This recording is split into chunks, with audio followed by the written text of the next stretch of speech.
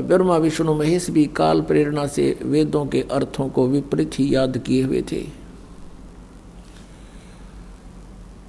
तो परमात्मा, कबीर जी वहाँ से चल पड़े कि काल यहाँ भी पहुँच चुका है।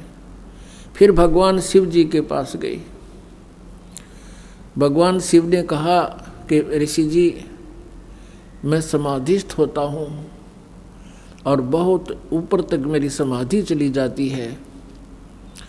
और जिस बात की व्याख्या आप करते हो कि वो सतलोक है, कोई सचखंड है, मुझे आज तक कहीं भी समाधि में दिखाई नहीं दिया। परमेश्वर ने कहा कि वो सचखंड तुम्हारे इस अंड और पिंड से पार है, लेकिन नहीं माने शिव जी। अब इनको परमात्मा ने जान लिया कि तो अब बुद्धि फिर गई इनकी नहीं मानेंगे। तो पुणात्मा, इस काल भगवान ने इन अपने तीनों पुत्रों से लीलाएँ करवाई और स्वयं ही इनके रूप में आकर के स्वयं ही ये लीला कर देता है या इनके अंदर प्रवेश करके कुछ ऐसे कर्म करता है जो ब्रह्मा, विष्णु, महेश के सतर के नहीं होते। जिस कारण से इन तीनों गुणों, रजगुण, ब्रह्मा, सतगुण, विष्णु, तमगुण, शिव जी की महिमा पूरे ब्रह्मांड में व्याप्त होगी प्रत्येक व्यक्ति इनसे प्रभावित होने लग गया और इनको अजरो अमर सर्वेश्वर परमेश्वर मान लिया। जैसे कोई समाधि लगाने की चेष्टा करता है, समाधिस्थ होने की चेष्टा करता है, हठ योग करके ये काल बहुत ही ज़बरदस्त षड्यंत्र रचे हुए हैं। ये क्या करता है? किसी को ब्रह्मा के रूप में दर्शन दे देता है समाधि दशा में, और वो कूदता फिरे फिरे, छलांग लगाता फिर, मुझे, मैंने भगवान पा लिया, मैंने भगवान पा लिया, और ये ब्रह्मा जी ही, ये रजगुण ब्रह्मा जो उनके पास देवता रूप में है। वो कहता है कि यही परमात्मा है। ये अपने आप को छुपाए हुए है। और किसी अन्य साधक को वो विष्णु जी के रूप में दर्शन दे देता है जो वो हठ योग डड़े ढो रहा होता है, समाधि लगा रहा होता है। वो फिर ये कहता है कि ये विष्णु जी ही परमात्मा है यही सर्वेश्वर हैं, जगत गुरु हैं, परमेश्वर हैं सर्व ब्रह्मांडों के रचयिता हैं। ये अपने आप को छुपाए हुए हैं। सारी सृष्टि के रचनहार यही है, क्योंकि वो पक्का गवाह बन जाता है काल का। समाधि दशा में देख के उनसे वार्ता होती है। जैसे स्वप्न में बातें हुआ करती हैं, ऐसे समाधि दशा में भी इष्ट से बातें हो जाती हैं। और किसी को शिवजी रूप में दर्शन दे देता अपने पुत्र शिवजी के रूप में। वो फिर कहता है कि ये शिवजी ही सदा शिव हैं, यही अजरो अमर हैं, यही काल रूपी ब्रह्म है, सर्वेश्वर महेश्वर मृत्युंजय कालज इस काल ने यो नौमण सूत अज्ञान का न्यो उलझा रखा है। इसी भ्रम में ब्रह्मा जी सोच लेते हैं, मैं सर्वेश्वर हूँ, मैं सृष्टि रचता हूँ, सब मेरे ही अधीन है। उधर से विष्णु जी उसी किसी ऋषि के कहने से ये मान बैठता है कि मैं ही सर्वेश्वर हूँ। और इसी कारण से इन दोनों का युद्ध हो गया। एक बार ब्रह्मा जी गया विष्णु जी के पास, क्योंकि एक दो ऋषि ने आकर उसका पंप मार दिए कि आप ही सर्वेश्वर हो, आप सब सृष्टि के रचनहार हो। आप सृष्टि के कर्ता हो, मैंने प्रत्यक्ष देखा है।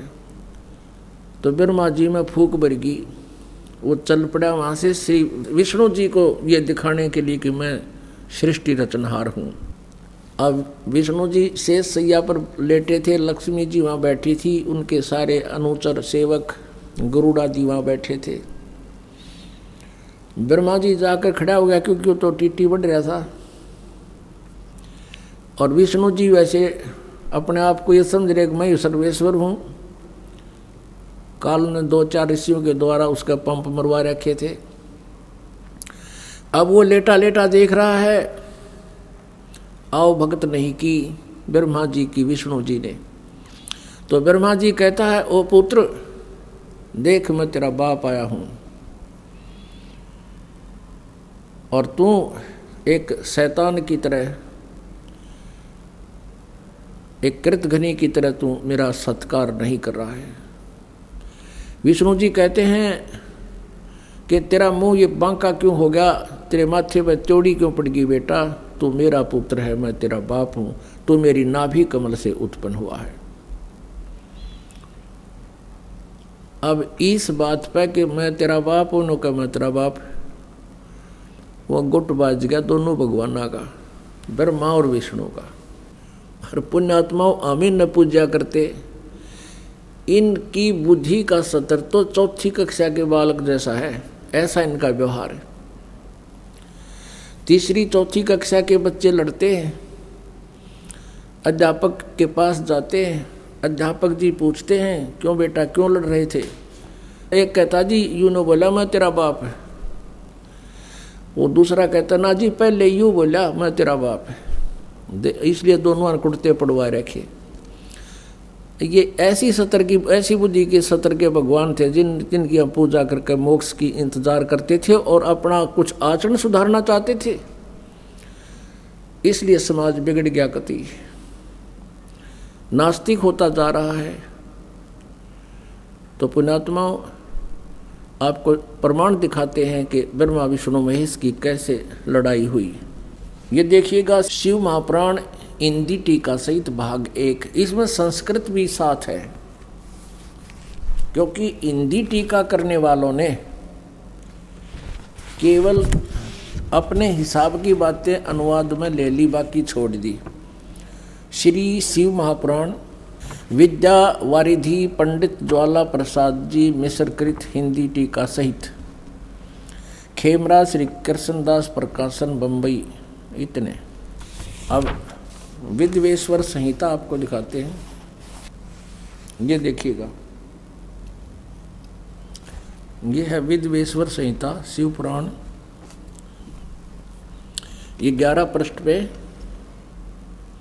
विद्वेश्वर संहिता भाग एक अध्याय छ नंदीकेश्वर बोले, जो भगवान शिव के वाहन हैं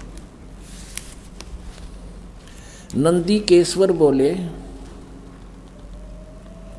हे योगिंदर, आगे एक समय विष्णु भगवान से सैया पर अपने गरुड़ आदि पार्षदों से संयुक्त लक्ष्मी सहित शयन करते थे।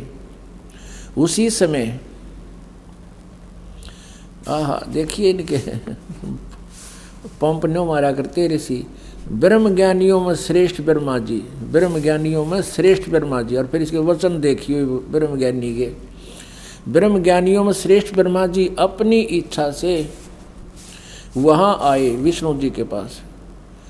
सब प्रकार से सुंदर सेज पर शयन करते हुए कमल लोचन विष्णु जी से पूछने लगे ब्रह्मा जी तुम कौन हो? ये ब्रह्म ज्ञानी ने नहीं पता तुम कौन है। तुम कौन हो जो मुझे देखकर अभिमानी पुरुष के समान सहन करते हो? अभिमानी व्यक्ति की तरह तुम लेटे हुए हो। हे वत्स, हे बेटा, उठो। ब्रह्मा जी कह रहे हैं, विष्णु जी को, हे बेटा, उठो, देखो। देखो, मैं तुम्हारा स्वामी आया हूँ, तेरा मालिक आया हूँ। आए हुए गुरु को देखकर जो अभिमान करता है, उस द्रोही मूड का प्राश्चित होना उचित है। यह सुनकर विष्णु जी के अंतर में क्रोध हुआ, लेकिन ऊपर लोग दिखावा शांत रहे। अंदर छो उठ गया, परंतु बाहर से शांत रहे और बोले, हे वत्स, हे बेटा, तुम्हारा मंगल हो। बैठो, इस आसन पर विराजो। वार हमारे देवताओं। इस समय तुम्हारा नेत्र कुटिल और मुख बकर क्यों हो रहा है? यानी तो गुस्सा क्यों कर रहा है? टेढ़ी आँख करके चौड़ी गेर रहा। ब्रह्मा जी बोले, हे वत्स विष्णु, हे बेटा विष्णु, तुमको समय के प्रभाव से अभिमान है। हे पुत्र, मैं तुम्हारा रक्षक और जगत का पिता मैं हूँ। विष्णु जी बोले, यह तो सब जगत मुझमें स्थित है। तुम चोर के समान किस प्रकार अपना कहते हो? तुम मेरी नाभि कमल से उत्पन्न हुए हो। इससे मेरे पुत्र हो। मुझे पुत्र कहना व्यर्था है। नंदी केश्वर बोले, इस प्रकार ब्रह्मा, विष्णु दोनों ही रजोगुण मुग्ध होकर विवाद करने लगे। मैं श्रेष्ठ हूँ मैं स्वामी हूँ ऐसा कहकर एक दूसरे को मारने की इच्छा से युद्ध कर, करने में उत्सुक हो गए। इवागे देखिए और देवताओं के चरित्र। वो तो लड़न लाग गए दोनों जड़े और और देवता आकाश से और उनको शाबाशी दे हैं। तब संपूर्ण देवता विमान में बैठकर उस महाअद्भुत युद्ध देखने को चले आए और आकाश में उनके ऊपर फूल बरसाने लगे। शाबाश, लड़ो। है शाबाश। जो कर जोटे लड़ा करे कई बगामा में और किल की दिया कर। हाँ हाँ। तो नो कह ऊपर वो देवता मारे, फिर नो कह है शाबाश, फूल बरसावे कर दो काम। जबकि पुण्यात्माओं अब इन देवता कवा या बालक कहें देवता थे तो वहाँ आते, उनके बीच में खड़े हो जाते, हैं प्रभु यदि आप ही ऐसा चरित्र करोगे तो और हमारे जैसों का क्या हाल होगा? आप ऐसा ना करो। उनका बीच बचाव करना चाहिए था। और वो फूल बरसाव ने कहा, शाबाश कर दो काम। अपने आत्माओं परमात्मा के ज्ञान की रोशनी में आज हमें दिखने लग गया। नहीं तो हम भी इस अज्ञान के आधार से इस काल के लोक में, इस बबूल के बन को, बबूल के बन को हम बाग समझकर घूम रहे थे कि शायद कहीं कोई आम मिल जावे, यानी कोई सुख प्राप्त हो, सपने में भी नहीं। यहाँ सुख नाम की चीज़ नहीं, आप सुख से अपरिचित हो। परमात्मा बताते हैं कि बारू बुरा जान चाटत हो रे ही। ओए होए अब संकेत बतेरा पुण्यात्माओं को इतना ही काफ़ी है कि तुम यहाँ सुख मानकर, इस जैसे कोई बुरा जानकर रेही खा रहा हो रेही जैसे ज़मीन के अंदर जो खराब ज़मीन हो जाती है, जिसमें रेही लग जाती है, उसमें सफ़ेद सफ़ेद उसके ऊपर एक बुरा जैसा ही एक बुरादा सा होता है, उसको रेही बोलते हैं।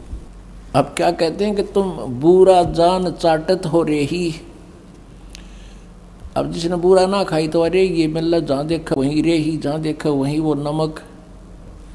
तो यही मान लिया कि यही होगा वो बुरा। अब परमात्मा कहते हैं, तुम जैसे किसी का संतान नहीं। वो न सोचे भगवान संतान हो जा, सुखी हो जाऊँगा। संतान हो, पाछे पूछ लियो उस पर कितना सुखी है। वो जिसके पास पैसा नहीं है, वो न सोचे, भगवान, पैसा हो जाए, मैं सुखी हो जाऊँगा। पैसे वाला ने पूछ ले, जो सपने में सुख होते हैं। सपने में सुख नहीं, पैसे वाले ने। तो पुणात्मा कोई नौका मैं राजा बन जाऊँ, मंत्री बन जाऊँ, मुख्यमंत्री बन जाऊँ, सुखी हो जाऊँगा। सुख तो आसपास भी कोई ना, उन्हें कहते हैं। सपने में भी सुख है ना प्रधानमंत्री, मुख्यमंत्री, एम एल एम पीज को ये सत्कर मान लेना। क्योंकि यहाँ सुख है ही नहीं, सुख हो कहाँ से? कभी कोई टेंशन, जैसे एक परिवार का एक मुखिया, पाँच सात सदस्यों के अरेंजमेंट में कितनी टेंशन होती है उसको? और एक राजा अपने क्षेत्र की प्रजा का पिता होता है। तो उसने जो व्यवस्था करनी होती है इतने व्यक्तियों की कितना सड़क बनवानी है, कितना सिंचाई की व्यवस्था करनी है, कहीं बिजली की व्यवस्था करनी है, और कहीं फिर पीछे से राजकाज में गड़बड़ी की चिंताएँ सताती रहती हैं। ये तो साँझ ने तीन पा दारू पी कर जब आँख लग गई इनकी। और सुत्या उठ दें फिर हुआ घी घी बंदी रहे। ये तो आप जी ने हमने दिखा है ये टू टू टू टू करती इनके पाछा आगे कार भागती। इन सपने में सुख ने। तो परमात्मा के बताना चाहो, तुम इन सुख मान रहे हो। और कहते बुरा जान चाटित हो रही। अब